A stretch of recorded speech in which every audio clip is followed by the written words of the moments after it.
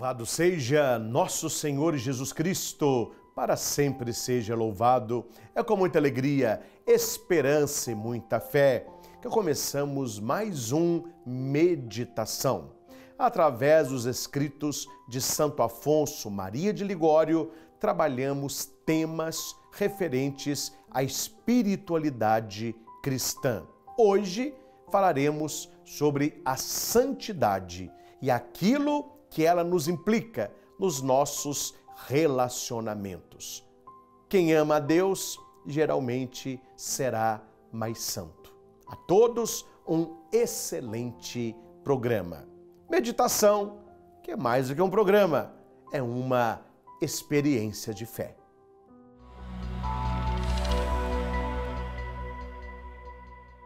Muito bem, que tema maravilhoso! Tenho certeza que no seu coração já está aí curioso que nós vamos falar a respeito desta santidade que alimenta o nosso caminho de espiritualidade.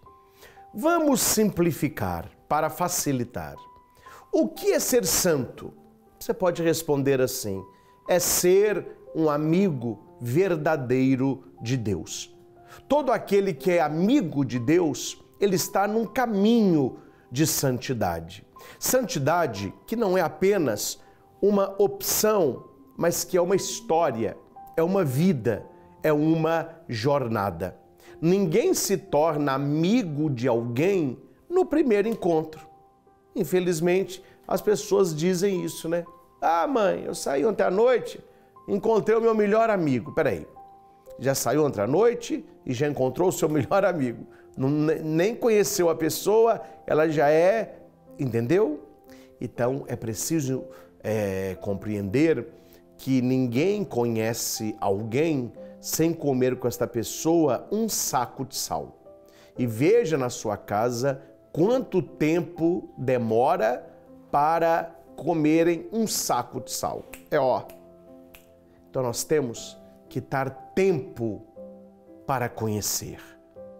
O conhecimento é uma jornada. Quando eu falo que ser santo é ser amigo de Deus, é você ter paciência. É, gente, as coisas vão acontecendo. Continue indo à missa, fazendo as suas orações, lendo a palavra de Deus, leituras espirituais. Você vai conhecendo a Deus devagarinho Deus vai entrando no seu coração e você começa a alimentar a sua vida de santidade.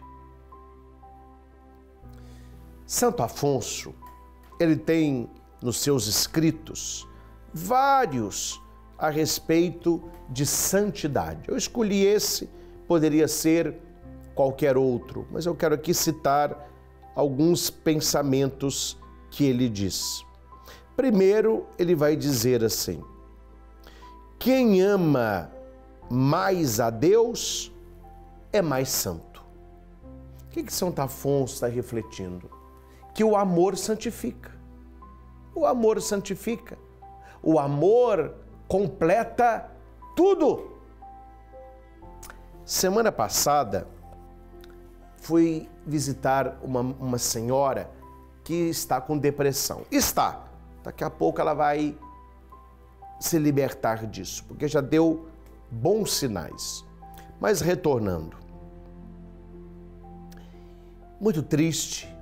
A família dizia que ela quer ficar só em casa chorando.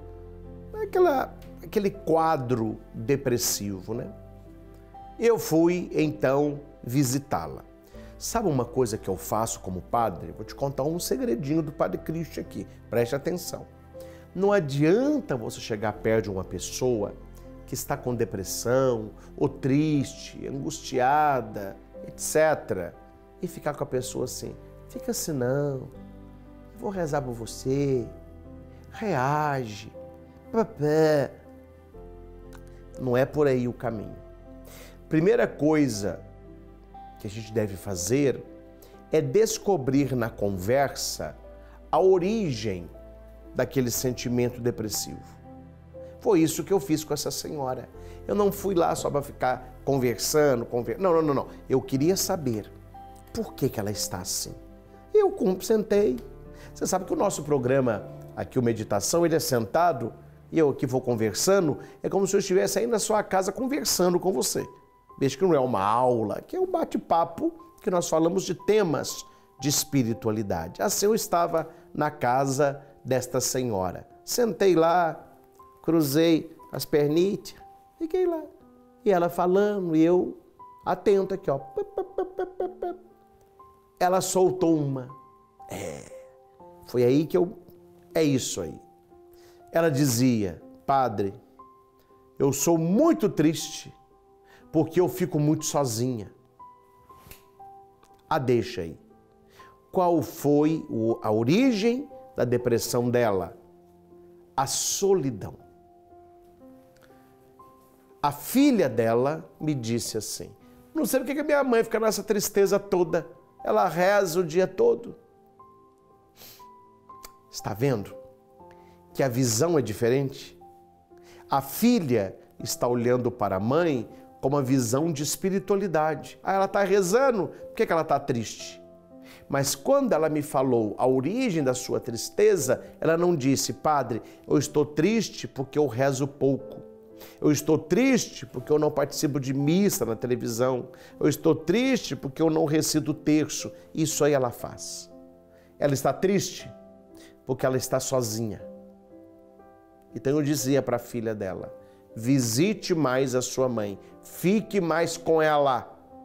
Eu sei que você tem a sua família, tem o seu trabalho, mas pelo menos três vezes por semana, tirando sábado e domingo, de segunda a sexta, vá ficar um pouco com a sua mãe. Leve os seus filhos para a vovó, nada alegra mais a casa que a presença dos netinhos. Estou falando olhando a minha mãe, a alegria que ela fica quando os netos ali estão.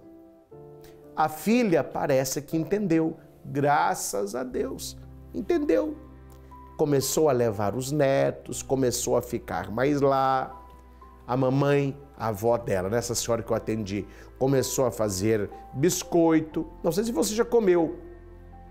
Já comeu aquele bolinho de chuva? Minas fala assim: bolinho de chuva. Um bolinho doce, você vai jogando na, na gordura, vira um, um muito gostoso. E ela gosta. Ensinou a neta a fazer, a filha começou a ir mais, os netos começaram a frequentar a casa dela. Ela recebeu muito amor, muito amor. Qual é o final da história, padre? O final da história é que levaram-na no médico, em poucos dias o médico já diminuiu os remédios da depressão. E eu disse para a família: não vai diminuir apenas, não, vai tirar. Vocês vão me contar. No final, ela não vai tomar mais nada. O que aconteceu aí, padre? Qual o milagre que aconteceu? Foi a bênção? Também, claro que foi. Mas, sobretudo, o amor. Ela recebeu o amor da filha, o amor dos netos, gente na casa presença. Presença. Um dia alguém me disse: Ah, pai, essa casa aqui é cheia de gente, essa pia fica toda hora suja de vasilha para lavar. E eu dizia: É muito melhor uma casa cheia, com pia cheia, do que uma pia vazia que aponta para uma casa vazia. Estou falando que a pessoa pode beber, sujar e largar lá, mas é motivo de alegria os netos em casa, os filhos em casa, parente, amigo, né? gente para um lado e gente para o outro. O amor ele cura. Veja que quanto mais a gente ama a Deus, mais santo a gente é, vai dizer Santo Afonso, mas este amor, ele precisa ser concreto também pela nossa família, também pelas pessoas que nós amamos.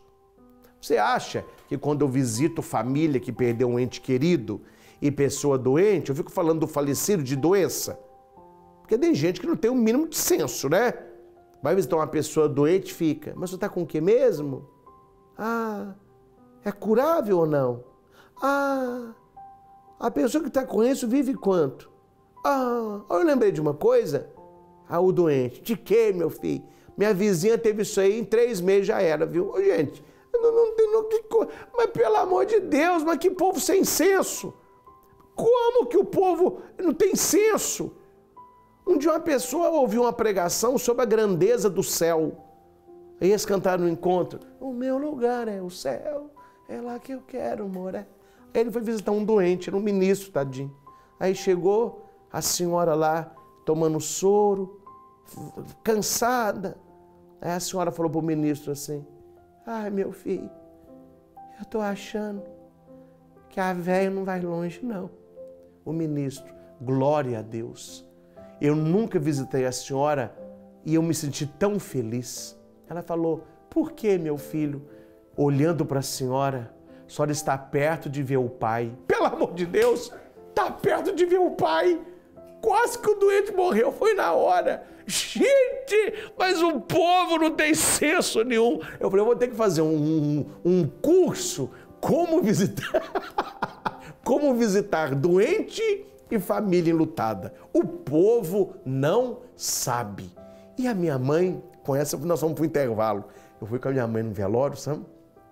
Ela ficou muito assim, tocada pelo acontecimento, ela estava tão assim nervosa que ela chegou perto da viúva e falou com ela assim: Ô oh, Rosângela, meus parabéns. Ela, oh, desculpa, é meus sentimentos. meus parabéns, me ajuda aí. Gente, estou contando essas coisas para você porque você sabe o que eu estou passando para você. E tem muita gente falando como que o padre acertou na mesa, na mosca. O que vai melhorar o coração das pessoas também a oração, também a espiritualidade, mas as pessoas querem gente. As pessoas querem abraço. As pessoas querem cuidado. As pessoas querem ser lembradas. As pessoas querem beijo. Quem ama mais a Deus é mais santo, porque o amor que se dedica a Deus ele vai desbejar este amor, ele vai ser fonte de amor para toda a sua família. Coloque mais amor aí na sua casa e você terá pessoas mais felizes e, consequentemente, mais santas. Prepare o seu caderninho, continue anotando. Eu vou para o intervalo, eu volto já já.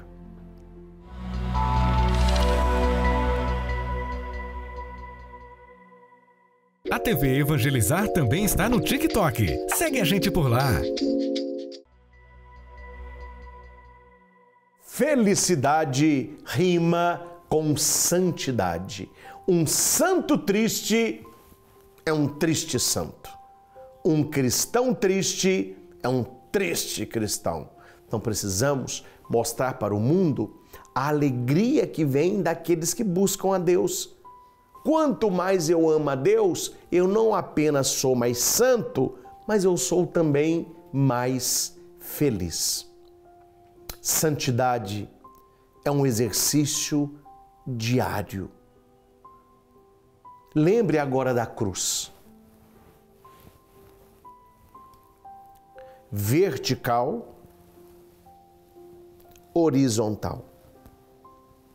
A santidade de vida ela passa por estes dois caminhos. Santo Afonso vai dizer assim: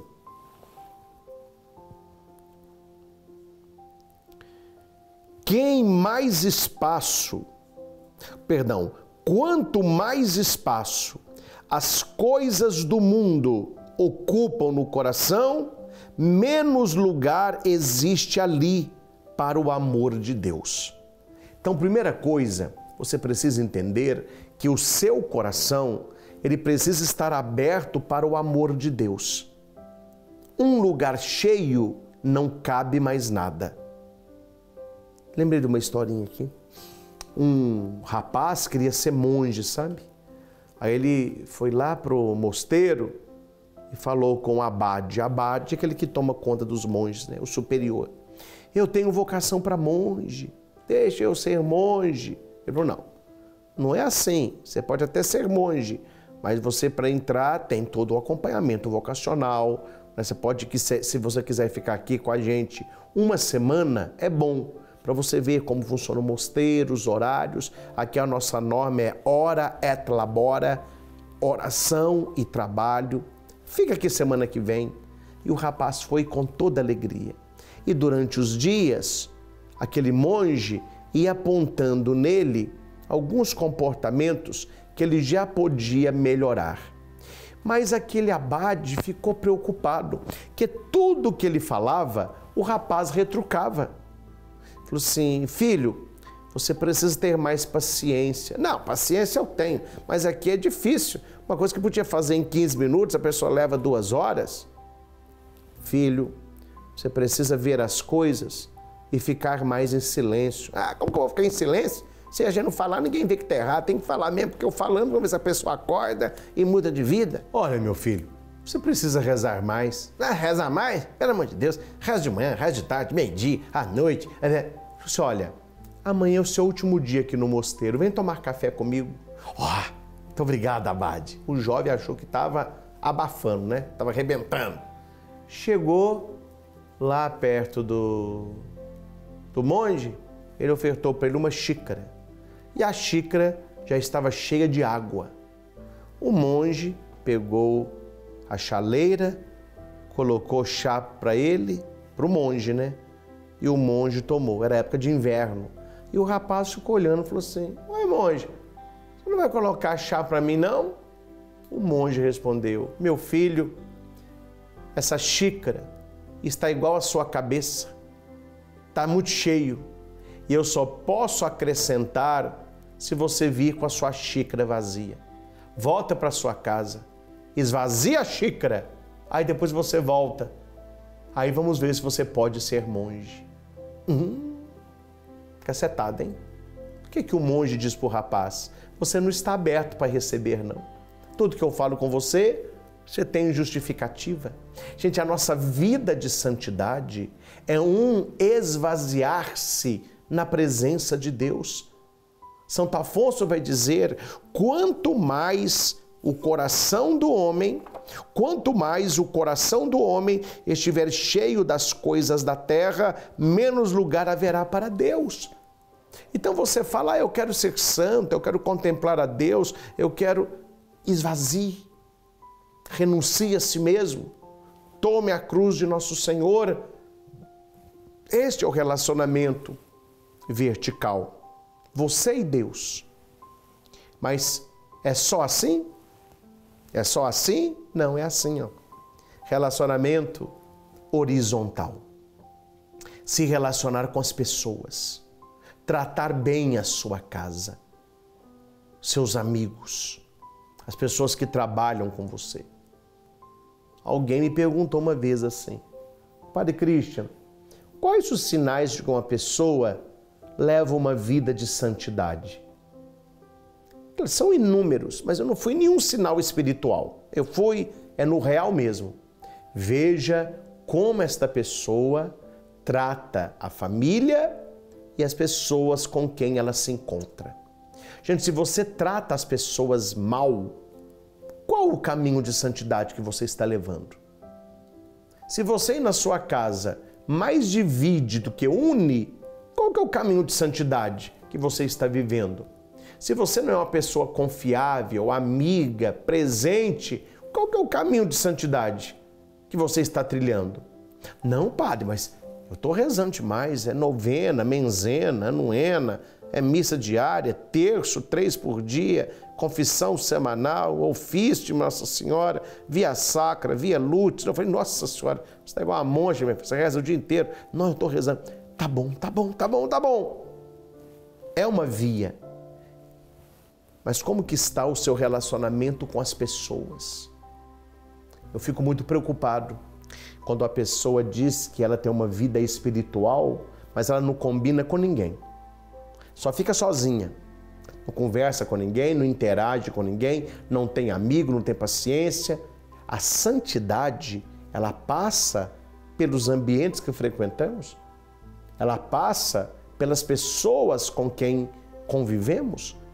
E é claro que nós não vamos viver como vivem as pessoas que não buscam a santidade. É claro que não. É interessante como que aquilo que é igual, ele chama, ele puxa. Veja pessoas num grupinho conversando, um grupo de amigos, um intervalo de um curso lá do seu trabalho. Você se une com quem? Geralmente com pessoas que gostam das mesmas coisas. Eles ficam comentando aquilo ali. Uma vez eu vi no shopping um grupo de jovens na mesa, mas muito animados, conversando, rindo, papiando. E lá eu cheguei assim, né, olhando. Qual que era o papo da mesa? Bike. Todos eram ciclistas. Então, falando de bicicleta, bicicleta de carbono, bicicleta mais leve, aro e, e roupa e aquilo, eles se interagem. Cuidado quando você está buscando santidade e os grupos que você interage são de pessoas que não querem a santidade. Aí é melhor a solidão mesmo. Porque o seu contexto, ele vai influenciando também na sua vida. Ah, para, então tá difícil, viu? Porque pouca gente hoje quer santidade. Pouca gente hoje quer o céu. É por isso que Santo Afonso vai escrever assim: Os santos são poucos, mas devemos viver com os poucos se quisermos nos salvar com os poucos. Bonito isso. Anote. Essa vale a pena anotar. Eu vou ler de novo. Vai anotar aí? Então vai lá. Os santos são poucos,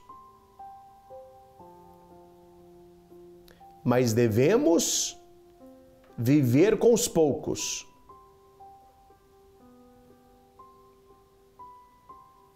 Se nos quisermos salvar com os poucos. Isso mesmo. Ah, padre, mas ninguém hoje está procurando santidade. Ninguém hoje está procurando as coisas do céu. Santo Afonso fala para você, para você, viva com os poucos, se você quiser estar com os poucos. Há pouco tempo, eu estava lendo uma revista de avião que nós somos a média das cinco pessoas com quem nós convivemos mais. Claro que o estudo não é restrito né? Eu acredito que nós somos um pouco mais que isso, mas vale para pensar. Vale para pensar. Quais são as cinco pessoas com quem eu convivo mais? Porque eu estou pegando destas pessoas tanto virtude como vícios. Então, daqui uma vigilância. Quais são as virtudes, o caminho de santidade que essas pessoas têm? Quais são os vícios que esses meus melhores amigos têm, pessoas que eu convivo, mas que eu estou pegando também para minha vida. Onde não há conversão, não há superação. Se você quer se superar e ser uma pessoa melhor, é preciso buscar uma vida de conversão. Compreenderam? Não é complicado, né? Não é complicado. Vamos para a revisão? Falei para você sobre santidade cristã. Comecei falando que quem ama a Deus é mais santo. Então precisamos amar a Deus de maneira concreta. Nós amamos a Deus com aquilo que falamos, com aquilo que fazemos. Mude a sua boca, mude as suas atitudes e você amará ainda mais a Deus. O amor a Deus me leva a amar os meus irmãos. Então, a minha vida de oração, ela determina os meus relacionamentos. E por último, os santos são poucos. Então, se você optar por agradar a Deus, você fará parte desses poucos onde tantos poderiam estar e escolheram não estar. Reze mais, busque mais as coisas do alto e procure tratar as pessoas de maneira mais digna. Eu finalizo este nosso encontro com este pensamento a respeito de santidade de Santo Afonso. Na perfeição cristã E na busca de santidade, mais vale a atitude que a vontade. Hum, viu só? Mais vale o que você faz do que aquilo que você quer. Tem muita gente que quer uma coisa, mas acaba fazendo totalmente o contrário. Que Deus abençoe copiosamente a sua vida, que você mostre com o seu bom proceder que você está buscando as coisas do alto e que esta dignidade comece no tratamento da sua família e com as pessoas que você convive. Que o Senhor nos abençoe, que o Senhor nos ilumine e que Ele nos afaste de todo o mal. Em nome do Pai, do Filho e do Espírito Santo. Amém. Obrigado por estar comigo em mais um programa. Um forte abraço e até a próxima semana.